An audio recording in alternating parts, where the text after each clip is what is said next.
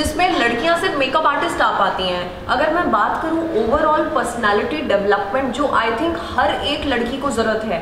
It's not important कि वो makeup artist बनना चाहते हैं या एक्ट्रेस बनना चाहते हैं एंकर बनना चाहते हैं। अगर आप एक हाउस भी हैं तो आपको ज़रूरत है कॉन्फिडेंस की बहुत सारे हेजिटेशंस होते हैं एक लड़की में you know that I am not that confident मुझे थोड़े फियर्स हैं, मेरी पर्सनालिटी इवॉल्व नहीं है, मेरी कम्युनिकेशन इतनी अच्छी नहीं है। So it's basic basically overall personality development it's a image transformation जो हम जिस उद्देश्य से हम ये मास्टर क्लास रख रहे हैं कि हम इवॉल्व कर सकें सबकी पर्सनालिटीज़ को। क्योंकि मैं खुद आर्टिस्ट हूँ ग्यारह साल हो गए हैं मुझे एंटरटेनमेंट इवेंट्स इंडस्ट्री में। मैंने ऑलमोस्ट सभी के साथ सारे ही सेलिब्रिटीज़ के साथ स्टेज शेयर किया है। मेरे पास डीएम्स आते हैं कि मैम जो आप लाइफ जीते हो वो हमें भी सिखाओ हम भी कुछ यू you नो know, करना चाहते हैं। बट उसके लिए हमें पर्सनैलिटी डेवलप करनी है अपनी। सो so बेसिकली ये वर्कशॉप वही है कि हर एक लड़की स्पेशली वुमेन क्योंकि अभी एट एट्थ मार्च को वुमेंस डे था तो हमने सोचा एक्सटेंड करें हम इस वुमेंस डे सेलिब्रेशन को। हर एक लड़की आ, अपने आप में कॉन्फिडेंट फील करे। She should feel confident her personality should be really confident and yes so it's all about public speaking it's about makeup it's about skin it's about overall image transformation और जो आज मेरे साथ mentors आए थे वो खुद ही इंटरनेशनली अक्लेम्ड एक्सपीरियंस्ड मेंटोर्स हैं। एक डॉक्टर है मैक्स हॉस्पिटल की एक सेलिब्रिटी मेकअप आर्टिस्ट है। मैं खुद एक पब्लिक स्पीकर हूँ एक पर्सनैलिटी डेवलपमेंट ट्रेनर है। So so basically you know first all I am very happy कि uh, महक ने uh, जो ये इवेंट को ऑर्गेनाइज करा। एंड यू नो इस प्लेटफॉर्म पे डिफरेंट डिफरेंट बैकग्राउंड से लोग आए एंड उन्होंने अपना अपना यू नो परफॉर्म किया और बताया कि वो कैसे आगे ग्रो कर सकते हैं।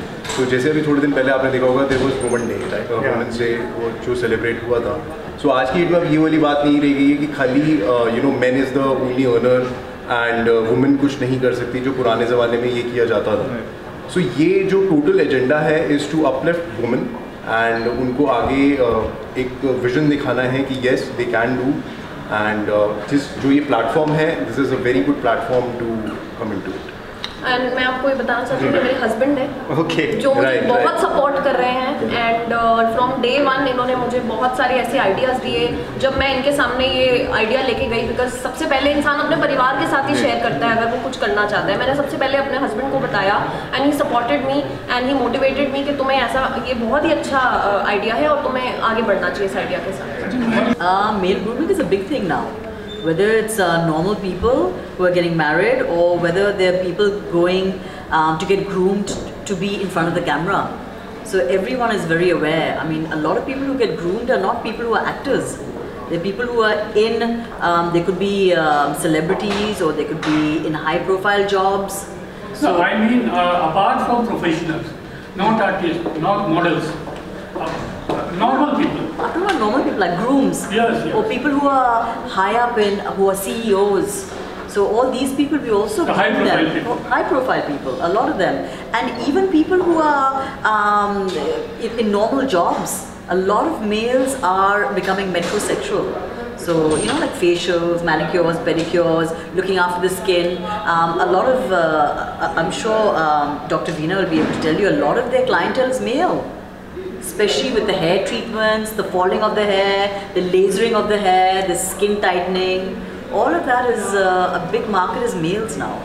A lot of it. So, ma'am, you attended this workshop that was uh, held today here in Gurugram. Uh, so, how do you like it?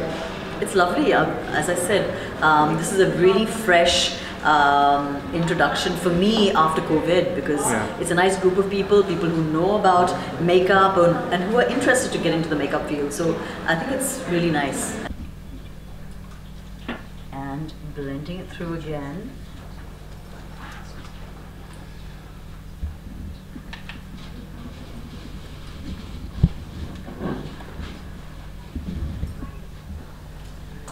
Just all the way through the Indian skin tone so much.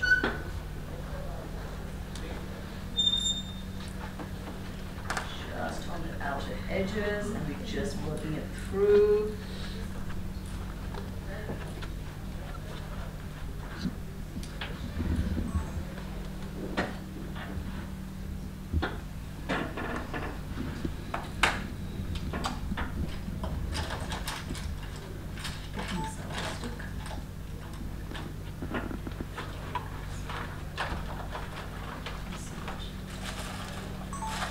And then I'm just going to add a little bit of shine to the eyes by using a cream.